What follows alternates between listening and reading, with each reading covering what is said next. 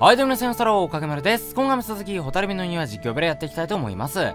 えー、前回はですね、異国のバラ貴族さんのお屋敷、バラ園か、に行って、えー、無事にね、二つ目の、無事にではなかったけども、あの、二つ目のね、ホタルビの贈り物である、朝焼け色のバラを、えー手に入れることができました。見る角度によって色が変わる綺麗なバラ。いいね。現実にあったらすげえ綺麗なんだろうけれども。で、まあ、その、えー手に入れる前にね、えー、クチナさんが本当に信用できるのかって言われちゃったりとか、あと、アルベールさんのその人間の友人っていうのが、えー、ホタルちゃんの両親だったこととか、まあ、いろいろと判明して、まあ、なかなかちょっと謎がまた深まって終わった感じなんですけれども、まあ、とりあえず今回はですね、次の情報集めとして、流泉屋っていうね、えー、この町で一番大きな宿屋を、に行くってことなんだけど、ここがもう流泉通りなんだよね。どっちが流泉通りなの？こ、こっちなの？こっちのラインなの？それともこっちのラインなの？それがわかんないんだけど、とりあえず下の方に確か犬がいたよね。この子気になってたんだよね、前回から。あ、かわいい。あれ？喋る？柴犬？あんま舐めた口聞いてんじゃねえぞ、おちびさんよ。あ、可愛くない。ははは。一瞬で可愛くなくなっちゃった。なんで犬じゃねえのか、あれ。あれもあやかしなのか。うん、広いなーっていうか。あ、ここあれか。前回見たな。ってことはこっち側に、あれだ、瑠璃姫ちゃんの。んここは、やっぱり、見たことがある。ここなんだっけ？それにここには、あの人と来たことがあるような。でも、そんなはず。どうかしたのか？私にもよくわからないんですが、この街の景色、小さな頃に見たことがあるような気がするんです。上倉ガニ何かの思い違いじゃないか？そうですよね。きっと疲れてるんだろうちょうどいいここで少し休んでこうえ？甘いものでも食べれば少しは疲れも取れるさ前回言ってたもんねああ、そうか、ここあれだ。甘味どころ、あんみつみたいな。そうだ。えー、おすすめは上倉まんじゅうだよ。前回言ってたもんね。うまそう、団子。あ、もうすでに1個食ってるし。カスベのところで酒を飲むのも悪くはないがやっぱり疲れた時には菓子が一番だなあれ、同じだ。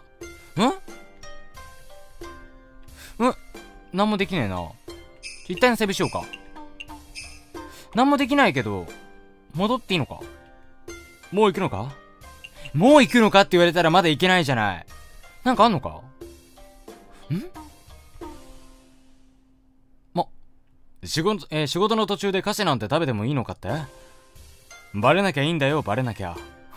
悪いやつだ。なるほど。いくらか買えパターンがあんのかな？うん。あ残る、えー、ホタルビの贈り物はあと2つか。あともう少しだな。ま何か聞きたいのか？甘いものが好き。上倉様ってどんな人？あなたは何者？あー、これ全部聞けんのかな？一番気になるのはこれだよね。あなたは何者？何者か？だと？言っただろ？俺は土地神の、えーおそばつきの一人。クチナだ。名乗ることができる名前はこれぐらいだ。俺の正体が何であれ？君を守る存在であることに変わりはないよ。俺の正体が何であれ？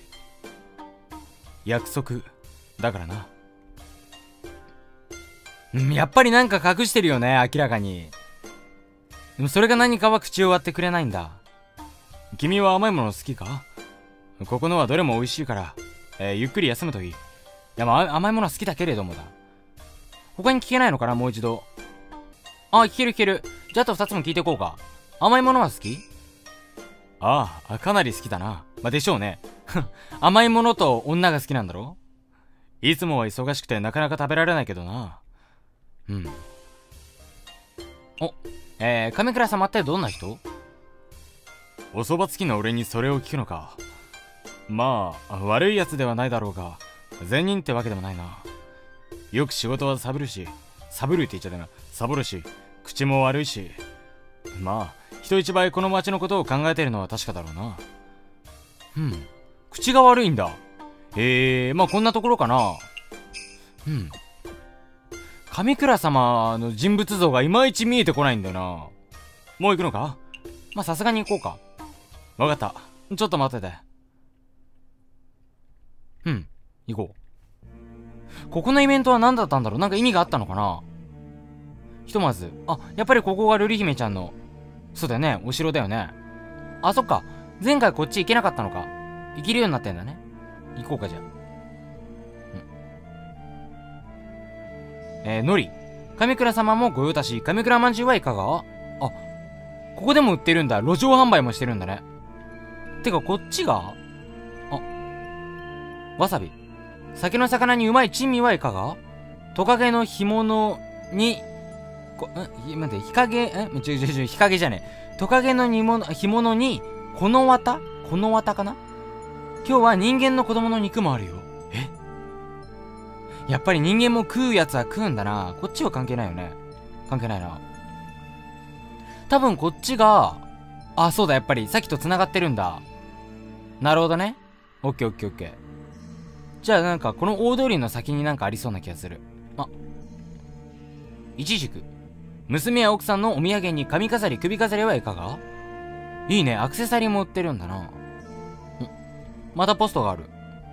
まあ、どこにでも行けるけど、まあ、今はいいか。これより先は神倉様の神社だ。許しのないものを通すことはできぬ。あ、この先がなんだ。許しがないものつったってね、口なさん一緒にいるのにね。おそばつきってそんなに地位高くないのかそんなことないよね。側近でしょ、要は、だって。お。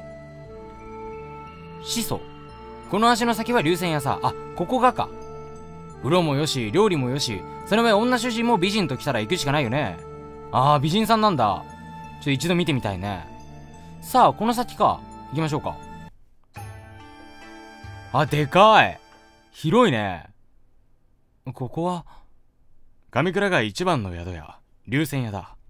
人もよく集まるし、情報集めには絶好の場所。のはずだが、なんだか変だな。変？いつもならもっと活気があるし、それに、ザクロちゃんがいない。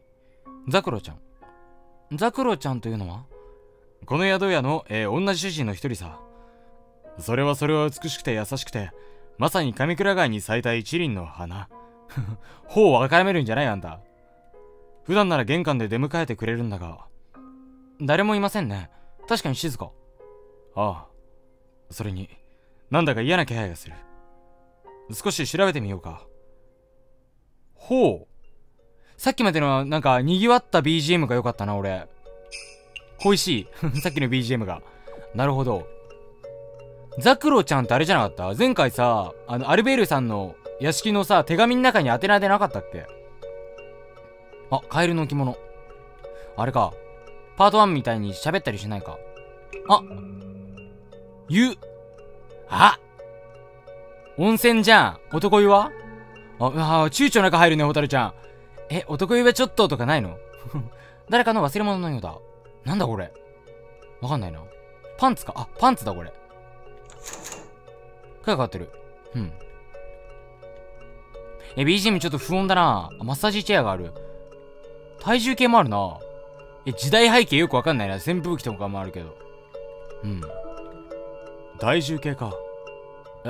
ちょっと君、軽すぎないか？勝手に見ないでください。なんでそもそも乗ったんだよ？てか、ここも女湯だけど普通に入っちゃって大丈夫なのか？うん。なんもない。あ、入れちゃう。女湯か。あ、また方わからめて。一体どんな想像してるんだ？最低ですね、クチナさん。ちょ、ちょっと待て。俺はまだ何も言ってないんだけど。なんか銀玉感が出る。何も言ってないんだけどーみたいな。を伸ばしそう。あ、すごい。あ、え、なんかすごい普通に入るじゃん、着物で。めっちゃ浸かるじゃん。え、すごい。あれだね。外？露天風呂なのかな？露天ではないか。別に外見えないから。自然と一体化してる感じだね。えー、おしゃれ。シャレオツインスタ映えする。インスタ映えしちゃう。ナイトプールかなつってね。とりあえず2階からみたいだけど1階攻めてこう。お、広いな待って、先に、先にこっち行きたい。あ、なんだあ、厨房か。食堂か。食堂？なんて言うんだろう、こういうの。こっちがご飯食べるところ。食べかけの食事。うん。まだ温かい。食べかけの食事が結構あるね。んどうなってるんだ？明らかになんか人がいた形跡があるのに、人じゃないかもしんないけど、何かしらがいた形跡があるのにもかかわらず誰もいないな。神隠し的な？おうしょ鏡が割れてる。なるほど。えー、なんか事件の香りがする。なんかの走り書きのようだ。花香る庭園で再びで、えー、出会ったあなたと私。そして傍らに咲くヒヤシンス。許してヒヤシンス。ああ、私たちの愛の旺盛を阻むことは誰にもできない。うん。どういうことだろうん普通だな、基本的に。普通の宿泊の部屋だね。誰かの日記だ。丸月バツ日、主人が美人で有名な流線屋に来た。噂通り入り口で出迎えてくれたザクロちゃんはとても綺麗で優しかった。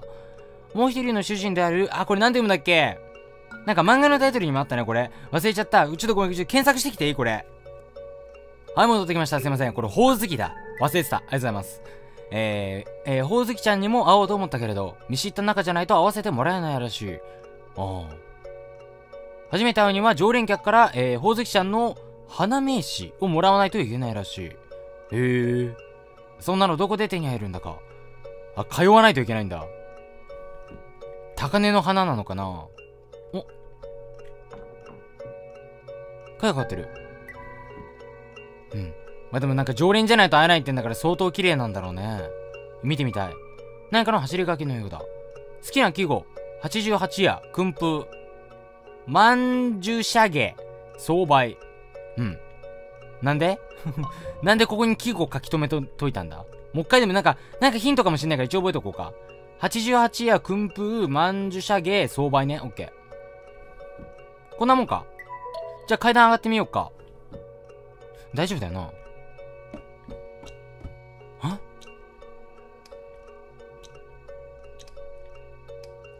何の音これ？暗いし。あっうわうわうわうわうわ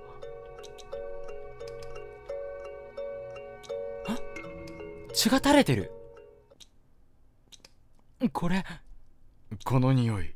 間違いなく血だ。しかもまだ新しい。ここで、一体何が？今のは？危ないおく、くしなさんくそ何？狼？くしなさん血が大した傷じゃない。それより今はあれから逃げることだけを考えろ。何？セーブします。行くよ。はい来るぞ。はいはいはいはい。何？お瞬間移動しなかった今。待って。こっち。開かない。どこ？なんでそっちから来たの今だ難しいよ。何これ？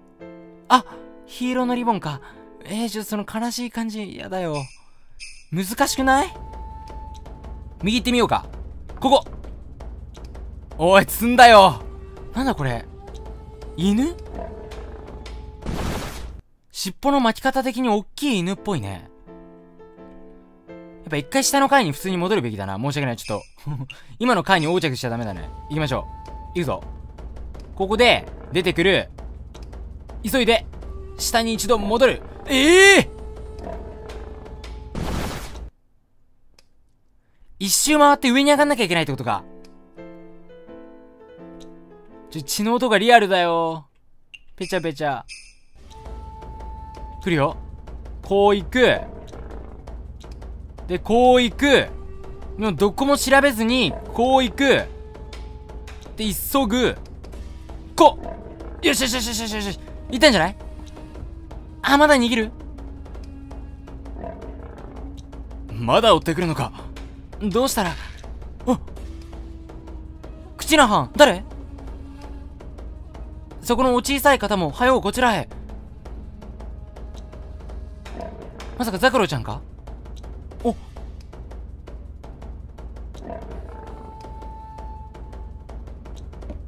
よしよしよしよしよしよし。よしなんとか巻いたみたい。なんなのあれ。言った様子な。口なさん左腕は？心配ない。少しかすっただけだ。大したことはないよ。でもさっき血が？ほら血だってもう止まってる。大丈夫だ。本当だ。よかった。治癒能力も高いのか？あやっぱザクロちゃんだ。助かったよザクロちゃん。あめっちゃ綺麗。えめっちゃ綺麗だし人間じゃない？これ。違うの？えめっちゃ綺麗。えめっちゃ綺麗。なんと言うの？お客さん守るんは当ての仕事ですから。あなたがザクロさん？ええ。はじめまして。あてはこの宿の主人の一人。ザクロと言います。以後吉名に。えめっちゃ綺麗なんだけど。あはじめまして。私はホタルと言います。あらかいらしい子やね。口な藩が身を挺して守りとなるのも分かりますわ。あご誤解だよ。なんだお前。ポンポン買いやがって女を。彼女は訳あって一緒にいるだけであってソロとは全然違ったほんまですか？本当だよ。苦しい言い訳だなお前。それよりさっきのは？あの獣のことをすねあれは元お客様とでも言えばええのでしょうか？なるほど。元お客様。ええ。他のお客さんと一緒にフラッといらっしゃってな。初めは料理を食い散らかしたり宿の中走り回ったり酔いどれ酔いどれさんも似たようなもんさかい放っておいたんやけどあれを手に入れてからはもう手がつけられんようになって。あれ？ホタルビの贈り物かな？やっぱりホタルビの贈り物の一つ琥珀色のキセルです。あったなキセル。ホタルビの贈り物ままだ琥珀色のキセルだと？口野さん。ええそうどす。噂を聞いてアテが姉様に送ろうと思って手に入れたものをす。ところが目を離した隙にあの獣に取られてもうてあれにどれだけの力が秘められとったか当てには分かりませんがお姉さんがほおずきちゃんなのかな？あれのせいであの獣が普通の妖怪じゃのうなったのは間違いないです。まるで妖怪というより神様のような。そうだろうな。力の強い者が持っていた品だ。当然のことだろう。しかしまさかあれもこちらに持ち込まれていたとは。琥珀色のキセルの元の持ち主をご存知なんですか？ああ君のおじい様より前に持っていたやつを俺は知ってる。でもそれは今話すことじゃない。神がかった妖怪は早く止めないと大変なことになる。放っておけば、えー、最悪を振りまく荒御霊になりかめななりかねない。ってことは神がかっちゃったってことは前の持ってた持ち主は神様だったのかな。そんな琥珀のキセル、え琥珀色のキセルが原因なら取り上げてしまえばどうにかなるだろうが。ザクロちゃんあの獣は何人食ったんだ？え？ああいうものは血を、えー、すするかなこれは。すすればするだけ。凶暴になる。あの惨状だ。かなりの被害が。あれいえ食われた者は誰もおりません。あの獣が暴れ出してからお客さんは全員アテがここに、えー、避難させましたし。じゃああの血は？ああ。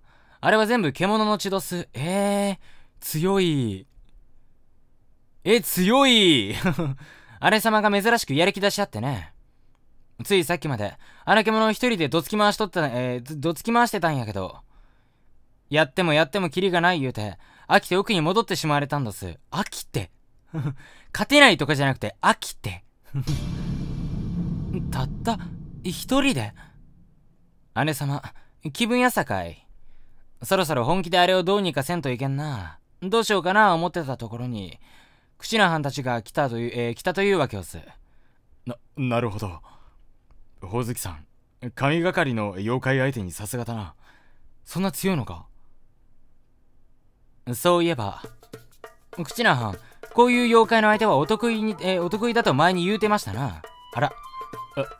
ああれは酔った勢いというやつだ男に二言はあらへんとも言うてましたっけ？いいやあて往生際の悪い人はあんまり好きじゃあらへんな。もちろんただでとは言いません。あの獣をどうにかしてくださったら俺に望むものはあてが何でもあげましょう。何でも。琥珀色のキセルでもですか？せやね。うん。いいでしょう。差し上げます。おおい。さどないします？口なはんカイラシお,、えー、お連れさんはやる気満々みたいやけど。そう望むなら俺は従うさホタルビの贈り物を集めて帰るまで守る約束だからな。口なさん。決まりどすな。あてはここの、えー、お客さんたちを守らなあかんから連れては行かれへんけど。何かあったら言ってください。くれぐれも気ぃつけて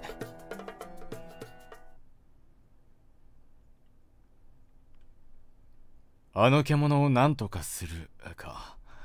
まずはこの宿のものを少し調べてみよう。あの獣には注意しながらな。うん。とりあえず話聞こうか。何人かいるみたいだしねここにね。見たけ。料理温泉露天風呂。楽しみにしてたのにな。生駒あんたも見たかいあの化け物。そりゃうちらも化け物には変わりないだろうけどさ。あれ本当の化け物さ。ザクロちゃんがいなかったら今頃命はなかったよ。うん。カンナ。あの獣は恐ろしいがね。私はザクロさんとお姉さんの方がもっと恐ろしいと思うわ。えー、襖の奥からちょっとだけ見てたけど、あれは修羅も羅刹も震え上がるような姿だったよ。そんな強い感じで戦ってんのか。やべえな。モズメ、避難したのはいいけど、ここには何もなくて暇だな。せっかく大月ちゃんに会いに来たってのに、あんたもしかして部屋の外に行くのかい？それならついでに私の部屋から新聞を取ってきてくれないか？これ部屋の鍵も渡すからさ。お、了解。鍵のかかった部屋だからすぐにわかるさ。頼んだよ。宝石社に会いに来たってことはさ、花名刺もらえんじゃね？ちょっと気になんね。椿。いやー、美味しい料理にはありつけなかったが、結構なものが見れて俺は満足だわ。うん、戦いっぷりかな。山吹。せっかく二股野郎のことを忘れるために来たのに災難だったわね。かすみ。どうせならあいつも連れてきてあの化け物の餌にでもしてやればよかったわね。ひどすぎ。確かに。なんだ、この二人が同じ男とってことか？あてに何かご用ですか？ん？あれについて、神係について、2階の部屋について全部聞いてみようか。あれ様はこの宿のもう一人の主人で、名前は宝月と言います。気が強くて美人で、その上力持ちで、とっても頼りになるんやけど、気分屋さんで、え生粋の人嫌いやから、ほとんど部屋から来いひんよ。部屋は上の階やけど、あて以外の人が会いに行くんは難しいかもしれませんな。なるほど。ああ、まだ聞いてなかった。神がかりについて。そういえば、口な藩、前に不死身のようにも見える強い妖怪であっても、弱点さえ分かれば怖いことはないっておっしゃってましたな。姉様がいくらやってもダメだったのは、弱点が分からなかったやろうか、えー、分からなかったからやろうか。うん、弱点ね。2階の部屋について。2階の開かない部屋。ああ、2階の空き部屋のことやね。まあ、そこは今使ってへんから物置になってます。いろんなものが置いてあるから、もしかしたら役に立つのもあるかもしれへんけど。鍵は確か、姉様が乗ってえ持ってあったかな。うん。2階の空き部屋を調べるためにも、ほおずきさんに会いに行った方が良さそうだな。あまり会いたくないが。なぜですか？俺、あの人苦手なんだ。ふん。なるほど。ひとまずは、どうしようか、どっちから行くべきだろう。急に怖くなったね、また雰囲気が。他の部屋は、一旦とりあえずさっきの空き部屋見に行くか。どこだろう？開かない。大丈夫か？開かない。あれこの辺じゃないのか？客室か？そっか。こっちか。そうだ、今のが2階か。そうだよね。え、ー、と、ここの鍵かかった部屋だよね。客室の勝ちだ、開けようか？開けよう。鍵が開いた。さあ、入ったぞ。えーと、新聞。持っていこうか。持ってきましょう。新聞を手に入れた。あ花名刺と走り書きされたメモが置いてある。花名刺あるよ。やった普通に取った メモ。えーと。偽りごまかし半信半疑。竜泉やほおずき。あ、ちゃんとほおずきの絵が描いてある。偽りごまかし半信半疑。どうだろう全部嘘関連のことだね。言葉的には。さあ、これでおそらくほおずきさんに会えるんじゃないか？なんとなくの予想だけど。行ってみようか。ここあんまり通りたくないね、正直ね。なんか走ったらやばそう。よし。さあ、じゃあ上行ってみるか。先に頼まれ事を片付けた方がいいんじゃないか？あ、そうだそうだ。新聞渡さなきゃ。えーと、どこだっけ？あ、この人だ。新聞取ってきてくれたんだな。ありがとう。それじゃあ鍵も返してもらうよ。まさかとは思うけど、私の部屋から何か盗んだりはしてないだろうね。大丈夫です。全く。全くの潔白です、こっちは。何の問題もない。安心してください。あなたの部屋はすごく綺麗です。机の上も綺麗です。行きましょう。さあ、ちょっと怖いね。この意味のない風呂はなんだよ。行くよ。あえ？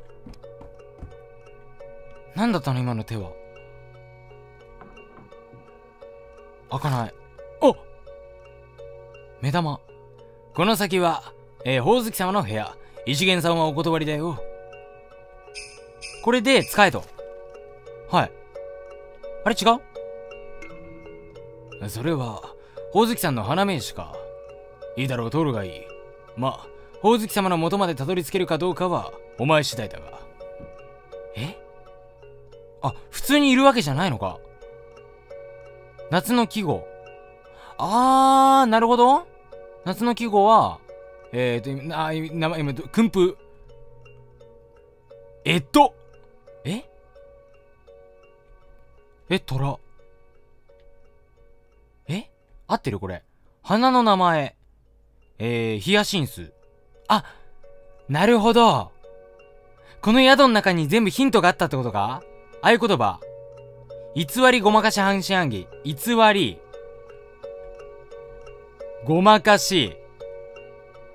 で、半信半疑。あー、来たあ、来た来た来た来た。あ、いた。あら、綺麗。めっちゃ似てる。ただ目の色と髪の毛の色が違うね。え？第一声すげえ罵倒だけど。そのダッサいお面は、口なんかそれとちっさいの。見ない顔だな。お前のようなガキを、ここに呼んだ覚えはないんだが。めっちゃ気強い。いや、あ、いや、ほおずきさん。この子は俺の知り合いなんだ。勘弁してやってくれないか。知り合い、知り合いね。まあ、そういうことにしておいてやろう。ん？で、要は何だ？つまらないことだったらひねり潰す。潰す2階の部屋の鍵を開けてほしいんだ。あの獣をどうにかするために。ああ、あの獣か。あたいがいくらすりつぶしてもあれは死ななかったが。何か策はあるのか？あの獣から力の、えー、源と、えっと、ででででどん、うん、源となっている琥珀の規制さえ取り、えー、上げさえすれば、おとなしくできるんだろうけど、そのためには弱点をついて、動きを止める必要がある。なるほど。2階の物置にはいろいろなものが置いてあるからな。弱点のヒントもあるかもしれないと。ああ。ふん。いいだろう。おお。先に行って鍵を開けておく。あとはお前たちの好きにするがいい。わざわざ言ってくれるんだ。言っちゃいましたね。気分屋だからな。えー、ほおずきさんの気分が変わらないうちに2階に行こう。うん。お、来た。あ、ここに戻ってくんだ。なるほど。すごかったな。とにかくすごかったな。さあ、これでこっちか。ちょっと怖いけど。お、開いてる。さあ、いろいろ見てこうか。古い兄弟。うん。紙。これはし、あおっと、あ、これは君には少し早いかな。そのようですね。今の私たちには必要な懐にしまないで元の場所に戻してください。あ、はい。何さ、何とっさにしまおうとしてんだよ。すぐこれだから男は。タヌキの置物だ。うん。誰かの日記の一部のようだ。ザクロちゃんに怒られるのも悪くはないが、ほおずきちゃんに無言で踏みつけられるのもたまらない。まあ、わからなくもないかな。へえ。な、なんだその目は。これ書いたの俺じゃないぞ。必死すぎない？ちょっと。タンスの中には何も入ってない。うん。流泉屋の温泉の効能についてと書かれた紙がある。流泉屋の温泉には疲労回復、美容効果、流あじゃ病気の治癒など、えー、多くの効能がある。その昔、神がまとっていた汚れを落としたの、えー、との逸話があり、温泉の湯には清めの効果もあるのではないかと言われてる。これじゃん？これだろう？これ？清めの効能か。あ確かに、あ確か1階に、えー、浴場があったな。試してみ、えー、見る価値はあるかもしれない。あこの声。来ちゃった？あ普通に鍵開けて入ってきたけど、あいつ。ここに入ってきたが。そんな。まだこちらに気づいてないようだ。見つからないように部屋を出よう。いやでも、だってこれ、ダメじゃん。タンスに隠れたり、できないわけ？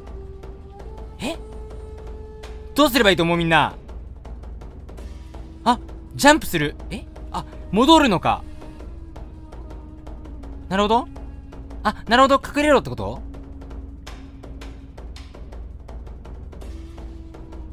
今のうち？よーし。走れ走れ走れ。あああぶねあぶねあぶねあ、やばい。今。今じゃない？今。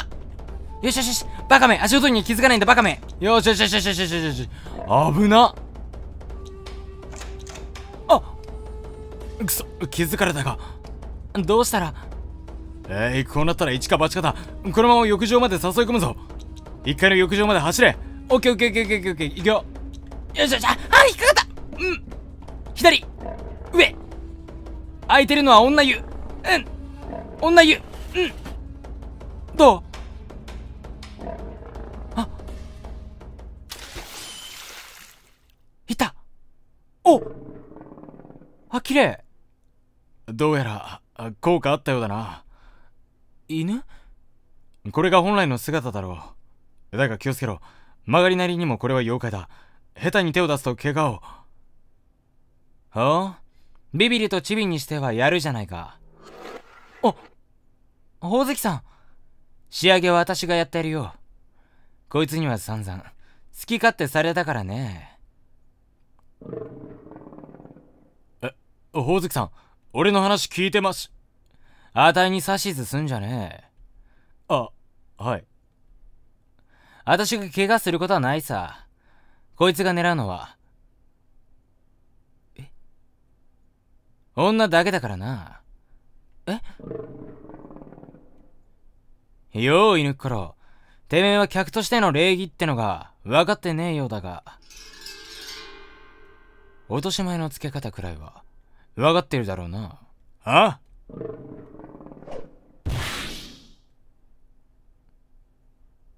さすがほおずきさん。殺してないえ？この程度で妖怪は死なねえよ。そうですか。さっきまでてめえを殺そうとしてきた奴の命の心配をするなんて。あんた変わってるな。まるで昔あった人間みたいだ。え？私は疲れた。もう部屋に戻る。後の面倒事は全部ザクロに任せると伝えておけ。それじゃあなお相変わらず嵐みたいな人だな。とりあえずこれで。一件落着ですね。え待ってってことは？ほおずきちゃんは？ほおずきくん？ってことか。ああ。ん？湯の中に何か落ちてるな。着せるか？そうじゃない？これは琥珀色のキセルだな。そういえばクチナさん琥珀色のキセルの前の持ち主って誰なんですか？え俺そんな話したっけ？ザクラさんとのお話の時に。あれあそうだっけ？覚えてないな。え？白々しい。でも琥珀色のキセルの記憶を見れば何かわかるのかな？あそっか。琥珀色のキセルを手に入れた